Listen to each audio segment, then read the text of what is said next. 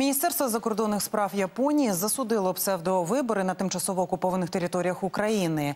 За словами японських дипломатів, вторгнення Росії в Україну порушує основи міжнародного порядку. І Японія цитую ніколи не потерпить будь-яких спроб силою в односторонньому порядку змінити статус-кво. Нагадаю, росіяни нині намагаються провести псевдовибори до окупаційної влади. Голосування триватиме кілька днів з 8 до 10 вересня. І як відбувається псевдоголосування? Як його організували окупанти, і як місцеві жителі ставляться до цього фарсу? Про це буду говорити з Петром Андрющенком, радником міського голови Маріуполя. Я вас вітаю, пане Петре, в ефірі марафону. Слава Україні! Героям слава! І от е, перед нашою розмовою я натикнулася на відео у соцмережах. Щоправда, це з Олешок, там, де їздять, е, як вони себе називають, мобільні е, ділянки, і вони їздять по подвір'ях і вимагають, причому такому знаєте, наказовій формі, вимагають, щоб люди виходили на вулицю, голосували. Тож розкажіть нам перш за все. Як ці вибори організовані, якщо їх так можна назвати, чи в Маріуполі триває підготовка, чи вони вже так само почалися, як і в Олешках? Ну, фактично, ці незаконні вибори розпочато в місті Маріуполі 31 серпня. Розпочато заздалегідь, тому що це попереднє якби голосування за законами Російської Федерації, тому з огляду на заходи безпеки. Тому розпочались вони раніше, і дійсно виглядає виглядає це приблизно так, як в Олешках, іноді ще е, ну смішніше, тому що інакше це не можна ніяк е, прокоментувати. Дійсно, ці мобільні патрулі, е, два-три людини з урною з бюлетенями з списками, фактично, тому що це не списки, навіть да а просто кудись записують, яка людина отримала бюлетень, і от записують без перевірки документів, записують просто зі слів. Все це відбувалося з 31 по 7 вересня, і вчора, в перший день, відкрились е, у нас виборчі дільниці. Виборчих дільниць стаціонарних небагато. Окрім того, це мало бути так: відкриваються виборчі дільниці і закінчуються ці мобільні виборчі дільниці, тому що це не відповідає навіть законодавству Російської Федерації. Однак так не сталося. Не сталося тому, що явки геть немає. Знову ж таки, справа полягає в тому, що на щастя цього року, на відміну від псевдореферендуму минулого року, поки йшло голосування з 31 серпня по 7 вересня, людей не примушувало голосувати. Це пов'язано з низкою причин. Перша причина тому, що в організації виборів і виборчих дільниць цього року задіяні не Маріупольці, а здебільшого мешканці інших міст е, Донецької області. По-друге, пов'язано з тим, що бюлетені завезено в три рази більше аніж взагалі мешканців в місті Маріуполі, і все одно фальшувати вибори, що в такий, що в інший спосіб. Тому воно пройшло повз. Однак, вчора, коли відкрилися дільниці, зрозуміло, що навіть для пропагандистських каналів нема що знімати. Пішла рознарядка заганяти фактично людей і на мобільні дільниці, і на виборчі дільниці, аби створювати цю картинку. То сьогодні ситуація у нас трохи інакша. Пробують загнати людей, нічого в них особливо не виходить. Тобто, окрім малої низки населення, умовно кажучи, проросійського та плюс бюджетники, яких примушують через загрозу звільнення голосувати, маріупольці майже ігнорують повністю ці е, псевдовибори, незаконні вибори, які проводяться на території міста. Псевдореферендум, який вони проводили, ми теж бачили на відео, що ходили по квартирно і автоматники супроводжували. Ви кажете, що вони е, погрожують звільнити з роботи. Чи можуть вони вдатися, або є вже факти, що вони вдалися до тиску фізичного, е, застосовуючи зброю?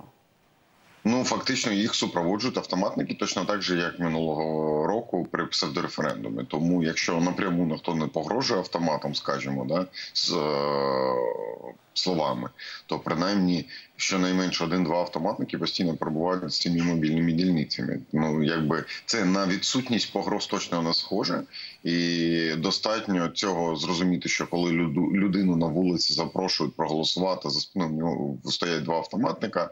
Ну ти хочеш, не хочеш, а це е, зробиш, тому що це і є фактично примус у прямому е, сенсі, незважаючи на те, що вони намагаються прикрити це якимись заходами безпеки.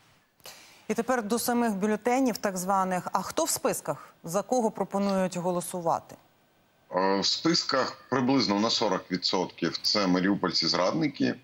е, по всіх партіях, які голосу намагаються.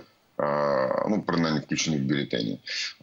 Ситуація така: 40% це маріупольці різного готунку. Однак всі з компанії одних тих зрадників, ноги яких ростуть ОПЗЖ. Десь 20% це мешканці інших е, населених пунктів Донецької області, і ще 40% це громадяни Російської Федерації. Там є і москвичі, є е, все ж таки переважною більшістю.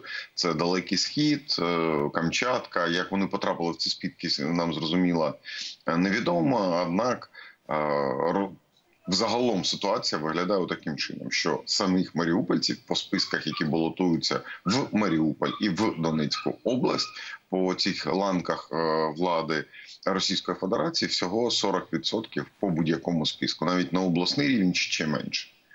Тобто сталінські методи, те, що завозять е, з інших регіонів, з іншої країни, і потім створюють з них владу. А скажіть, а оці бюлетені, і якщо е, місцеві, все ж таки, ті, хто потрапили в цю бюлетені, е, маріупольці, зрадники, колаборанти,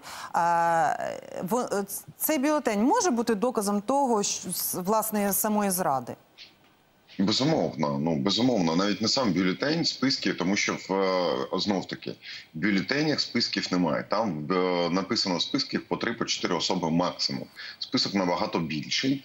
Він закритий, закритий навіть для маріупольців по, нормальному. Взагалі його можна подивитися в одному і на одному єдиному домені, і цей домен відкривається виключно з окупованої території Донецької області, навіть з умовної Москви неможливо передивитися за кого ти голосуєш, при тому, що такі самі вибори за Маріуполь тривають і в Москві, і на далекому східі сході. Ти можеш проголосувати, як це не дивно.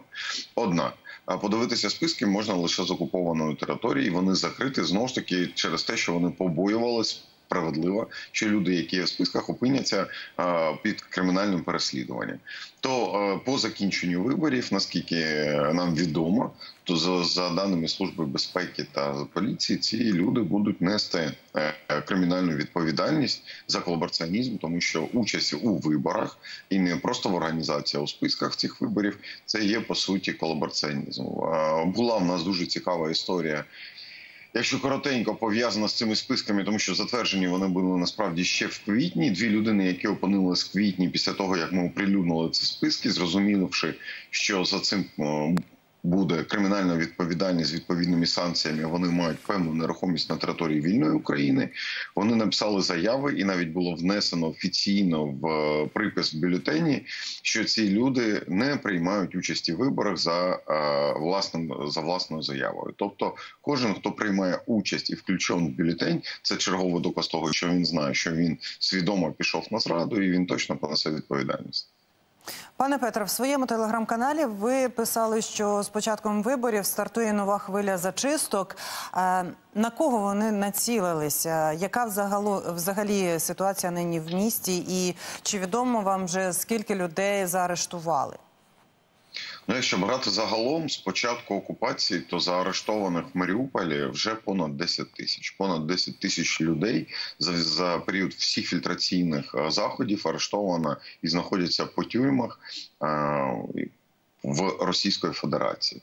А якщо брати поточну ситуацію, то до 100 людей щотижня так само продовжують зникати українців, маріупольців через подібні зачистки. Чому зачистки цього разу частково це пов'язано з виборами, а частково з тим, що незадоволені маріупольці, тим, що росіяни не виплачують їм заробітну плату після виконання робіт, оголосили про початок страйку з 10 вересня має розпочатися, і зрозуміло, що як е, заходи, які мають е, не дати можливості провести цей страйк, і у тому числі проводиться ця зачистка, тому що це типові контрпартизанські заходи, які застосовує Росія е, систематично, коли виникає загроза подібних масових безпорядків в Маріуполі, або коли стає їм зрозуміло, що занадто багато інформації виходить за межі Маріуполя, е, тому вони намагаються цьому протидіяти в такий спосіб. А ФСБшників е, вони є в місті? Вони курують е, ці всі процеси? А як же ж вони саме і керують? Ну фактично ієрархія побудована таким чином, е, ієрархія правоохоронної системи, мовно кажучи, яка бореться з українським спротивом. Вона побудована таким чином, що наверху стоїть ФСБ. Потім, все ж таки, трохи нижче на ступінь стоїть е, головне розвідуправління е, Міністерства оборони Російської Федерації. За ними йдуть. Е, Після них йдуть військова комендатура, після неї йдуть Росгвардія, і потім вже йде всіляка поліція. От, от таким чином така пірамідка вона побудована. В Маріуполі представників головного розвідуправління фактично немає. Це пов'язано з іншими причинами, тому що там була битва за владу, яку виграла ФСБ, фактично. І ФСБ контролює всі процеси на сьогоднішній день, які відбуваються в місті. Це не лише контрпартизанські заходи, не лише боротьба з проукраїнськими настроями, а це зокрема курування. Е, Вони корують мародерство, вони корують всі ці схеми розкрадання з російського бюджету. Тобто, всі фактично процеси, навіть їх представники постійно перебувають в окупаційній адміністрації, і по суті є фактично тими, хто приймає цілу низку рішень. На відміну від наших гауляторів, які є фактично просто горящими головами. Ще одне уточнення. Ви сказали, що голосувати навіть можуть люди з Москви. То я так е, власне розумію, що завозити навмисно росіян для цього для картинки пропагандистських медіа на виборах їм немає потреби. Чи все ж таки везуть? Ну, Немає. Ні, не везуть. Нема на- потреби. І наостанок ще хочу почути вашу думку. От е, цей скандал, який стався на руїнах драмтеатру, де від російської бомби загинули більше 600 українців, коли вони ховалися е, в укритті. І от ми побачили, що китайська туристка, назвемо її так, китаянка, заспівала Катюшу. Е, Яким які відчуття, які думки і чого будете домагатися? Ну, відчуття зрозуміло, це просто агида, там іншого ніяк не скажеш. Да? Там агида та більше там відчуттів немає, коли ти на це дивишся. А якщо чого ми будемо домагатись, ну, по-перше, е, там перший наш успіх, ми точно знаємо, що ми бачимо вже реакцію нашого міністерства закордонних справ. Ми розуміємо, що справу буде доведено до кінця, що ці люди отримують заборону на в'їзд.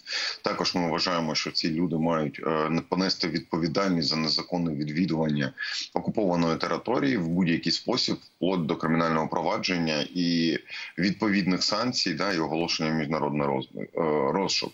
Загалом ми впевнені, що за е, ці дні, починаючи зокрема е, за дні голосування, ми побачимо багатьох іноземних громадян, які будуть публічно перебувати на території Маріуполя, зокрема, і ми б дуже хотіли вважаємо це абсолютно за справедливе, аби всі ці люди дійсно були в, в міжнародному розшуку за порушення нашого законодавства, і це дозволило би їм дуже некомфортно по- подорожувати в подальшому і перебувати навіть на території тих країн, громадянами яких вони являються, тому що це і є справедливість, і тому, що є це відплата, і так має бути для того, щоб відбити будь-яке бажання відвідувати наші окуповані міста, окуповане селище і всю територію України, на яку на сьогоднішній день на жаль, ми не контролюємо. Пане Петре, я вам дякую, що ви знайшли час, доєдналися до нас за вашу розповідь, за новини з поки що е, окупованого Маріуполя. Е, про так звані вибори на тимчасово окупованих територіях України, зокрема в Маріуполі, ми говорили з Петром Андрющенком, радником міського голови Маріуполя.